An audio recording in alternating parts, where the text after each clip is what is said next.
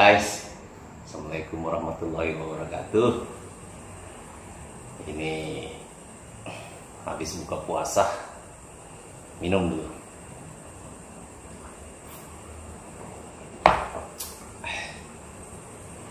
Minum, merokok.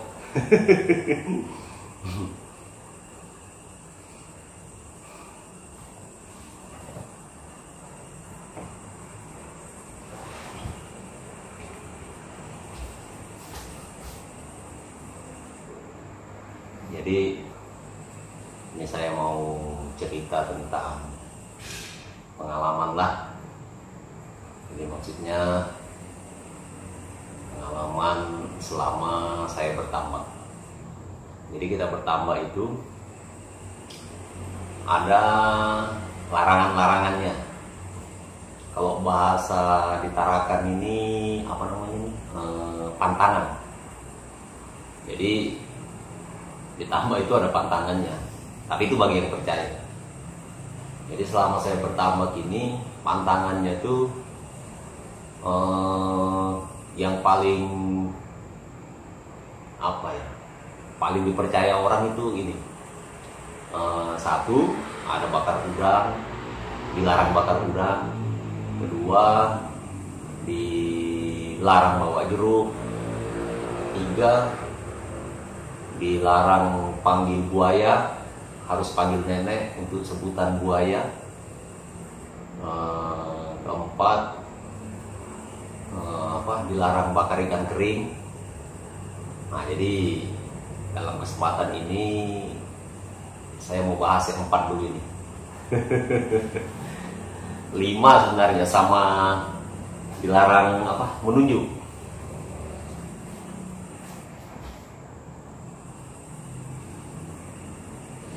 Jadi saya mau bahas satu persatu. Jadi kalau ditambah itu ada yang mengatakan kalau eh, apa namanya ini eh, bakar udang itu dilarang. Kalau digoreng boleh, kalau dimasak boleh, direbus boleh. Saya juga tidak tahu apa penyebabnya itu sehingga bakar udang itu dilarang. Jadi saya pernah tanya almarhum orang tua saya kenapa katanya dilarang bakar udang? Dia juga nggak tahu. Dia bilang ah itu bagian dari apa ya kalau bahasa kasarnya itu sirik. Cuman pesannya dia itu kalau ada yang percaya begitu ya jangan dilarang biarkan aja. Karena dia juga punya hak kan? Tapi jangan diikuti. Nah, jadi pesan orang tua saya begitu dulu jadi kenapa dilarang bakar udang? Pernah saya tanya saya punya om. Jadi bilangnya om saya itu kalau kita bakar udang ditambah, nah jadi katanya uh, udang itu nanti merah. Jadi kalau kita bakar udang ditambah, jadi udang yang di dalam tambah itu nanti ikut merah. Jadi mati udang. Nah, jadi saya bilang kok bisa begitu? Jadi dia bilang, ah memang begitu. Dia tidak bisa jelaskan secara apa ya, eh, pokoknya secara teori dia tidak bisa jelaskan. Tapi yang jelas kepercayaannya begitulah. Tapi kalau menurut saya itu tidak berlaku buat saya, karena kami ini generasi kedua, artinya yang setelah orang tua saya jadi kami kami inilah anak-anaknya yang mengelola tambak. Tidak percaya yang begitu. Karena tidak ada hubungannya. Ya bakar udang kalau mau bakar bakar aja. Kalau ditambah saya begitu. Terserah. Yang penting dimakan. Jangan bakar udang baru udah dimakan ya. Saya larang lah kalau begitu. Nggak boleh jadi kalau alasannya yang tepat kenapa katanya udang nanti merah. Kok bisa merah? Dia tidak bisa jelaskan. Tapi kalau menurut saya mungkin ada hantu di situ yang dia percaya atau jin sehingga udang itu ikut merah seperti yang dibakar. Ay kira-kira begitulah. Aduh.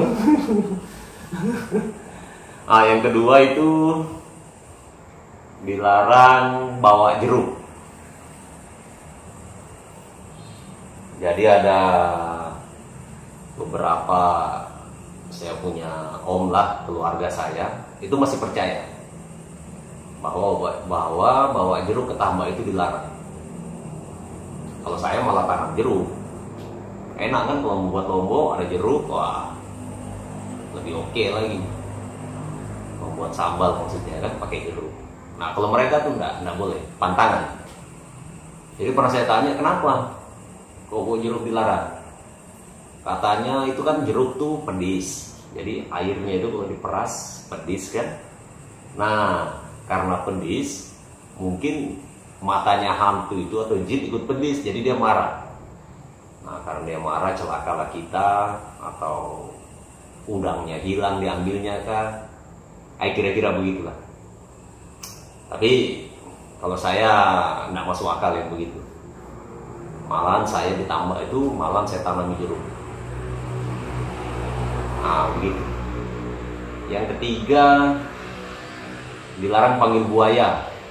Jadi harusnya panggil nenek. Jadi maksudnya ketika ketika, ketika kita ketemu buaya di tambak atau di sungai, kita jangan panggil dia buaya. Wih, ada buaya di situ. Jangan.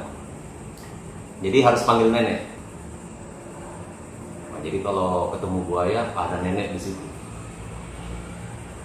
Jadi katanya sih kalau dia dipanggil buaya marah.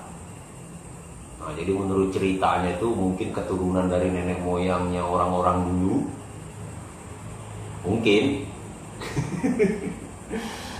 Aduh cuma ya nggak tahu juga lah. Tapi yang jelas kalau kita ketemu buaya itu dilarang panggil nenek. Harus panggil apa? Dilarang panggil buaya harus panggil nenek. Jadi harus oh di sana ada umpamanya di sana ada buaya di sana ada nenek. Nah, begitu. Tapi saya tidak percaya. Karena pernah kejadian jadi dulu ada itu uh, saya punya tambak sekitar tahun berapa tuh ya? Tahun 2000-an lah pokoknya. Mungkin 2012 atau 2014 sekitar itu. Nah jadi itu ada buaya sering datang ke tambak saya tuh. Jadi itu buaya itu panjangnya 6 meter lebih lah. Pokoknya paling pendek 6 meter. Nah jadi itu datang. Kalau dia datang tuh anggota saya sering ini uh, apa namanya nih dia kasih makan. Jadi dia kasih makan tuh buaya tuh. Jadi dia ambilkan ikan-ikan ikan-ikan lah ikan bandeng kah ikan mujair kah. Nah, dia buangkan makanan. Jadi tuh buaya tuh namanya Zubaidah jadi saya punya anggota tuh kasih nama buaya tuh namanya Zubaida. Nah, jadi suatu ketika waktu itu kami panen malam-malam. Nah, jadi waktu kami tarik ini jaringnya troll itu ditarik keras nah karena keras dikira nyangkut kan biasanya tuh nyangkut atau ada kepenuhan isinya Nah, jadi maksudnya anggota ini dia kan pegang tali. Jadi dua orang anggota di pintu situ pegang tali. Nah, ini yang anggota satu ini dia turun. Dia injak itu jaring itu troll. Dia injak maksudnya dia mau ke ujung troll itu nanti dia ikat tali supaya kita tarik ke samping. Maksudnya begitu. Nah, mungkin pada waktu itu mungkin buayanya itu ini bercakar dia di di troll itu. Jadi dia bercakar. Nah, pas si anggota turun ini mungkin dia injak kepalanya. Nah, jadi langsung wah pokoknya langsung disambar langsung tenggelam. Teriak dia minta tolong tolong tolong tolong. Tak lama muncul lagi tenggelam lagi tolong tolong tolong tak lama muncul lagi tenggelam mungkin sekitar satu menit kemudian muncul Nah dia muncul posisinya si anggota ini almarhum ini dia sudah menghadap ke atas. Jadi anggaplah ini mulut buaya, ini si almarhum ini, ini sisi perutnya menghadap ke atas dia. Jadi dia sudah gigit begini posisinya. Jadi perutnya almarhum ini anggota saya tuh digigit sama buaya tuh. Korde muncul, dia bawa ke samping pintu ini, itu sekitar satu menit ya di di atas air. Nah, jadi kebetulan waktu itu ada kan ada kakak saya waktu itu.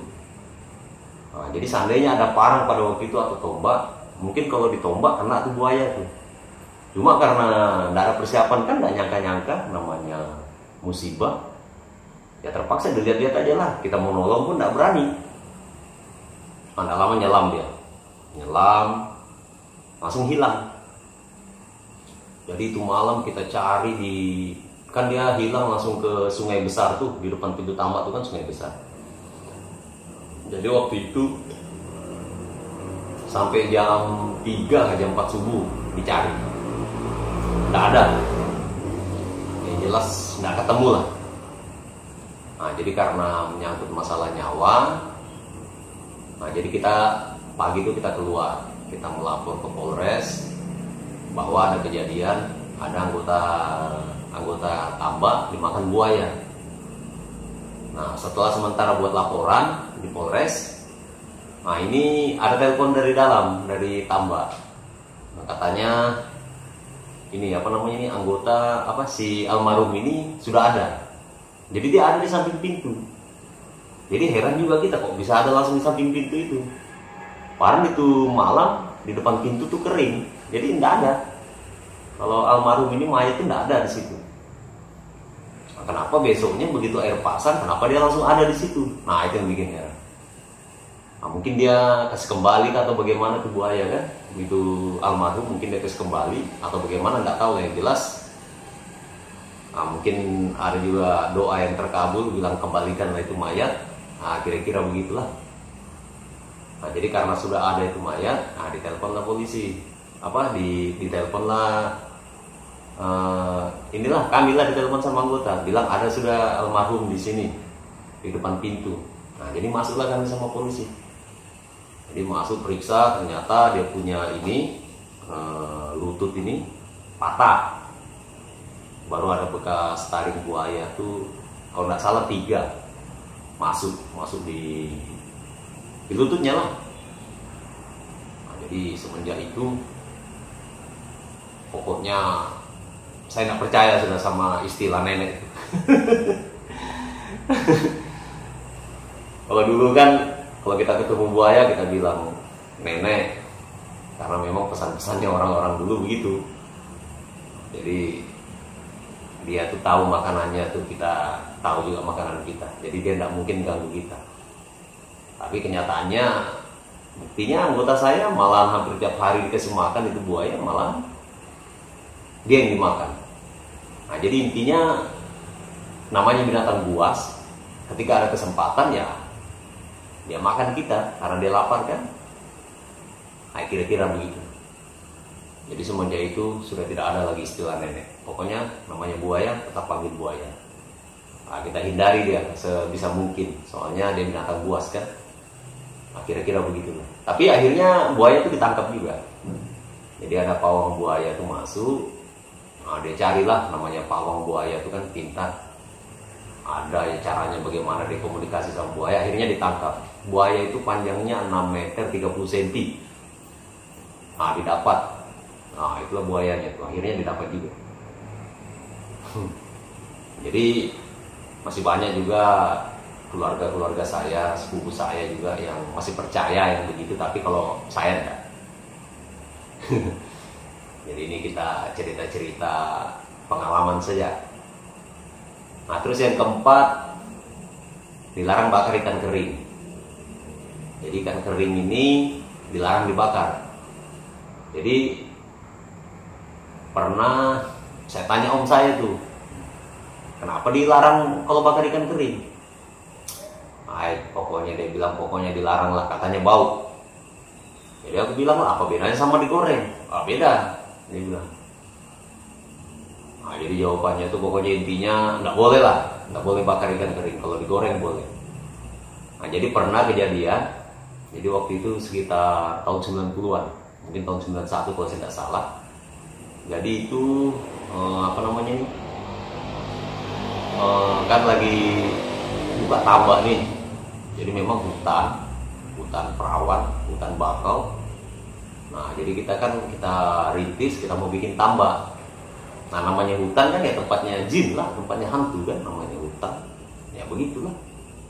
Nah, jadi makanya waktu itu maghrib pulang kerja, nah, saya punya mama, mungkin karena terburu-buru atau bagaimana, karena orang lapar mau makan, jadi ikan kering itu dibakar jadi setelah bakar ikan kering itu tidak lama kemudian mungkin sekitar dua menit atau tiga menit kemudian datang ini segerombolan lalat. Main lalat tuh besar besar. Main kayak jempol, mana ada lalat kayak jempol begini. Jadi datang kayak ah itu, kayak lebah, kayak tawon. Datang langsung, pokoknya di daerah Pondok tuh langsung penuh lah.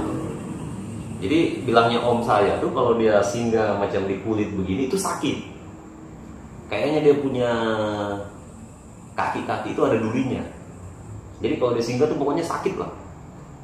Pokoknya heran lah kenapa tiba-tiba kan? Itu jadi ada itu om saya tuh waktu itu dia bilang ya anu lah itu om saya tuh kayak dukun-dukun begitu. Ada sedikit mungkin kelebihannya dia ngerti masalah supranatural kayak kira-kira begitu. Nah, jadi langsung bilang oh dia mau itu. Ambilkan aja itu ikan kering sedikit baru lemparkan aja di samping rumah nah, jadi diambil aja ikan kering lempar di samping rumah. Mungkin berapa detik kemudian langsung pergi tuh pergi satu rombongan. Nah itu kalau dipikir-pikir kan tidak masuk akal kan. Cuma nah itu yang terjadi. Makanya pesannya orang tua dulu itu dia bilang orang-orang dulu lah dia bilang jangan bakar ikan kering. Tapi kalau saya tidak ngaruh sekarang mungkin situasinya beda sudah kan? Pada waktu itu dulu itu karena masih hutan. Kalau sekarang kan yang saya kelola ini kan tidak sudah dalam bentuk tambak dan bersih. Jadi mau bakar udang ke mau bakar ikan kering ke mau bawa jeruk kan ada urusan buat saya. Pokoknya mau bakar bakar yang penting kau makan. Jangan dari makan mubazir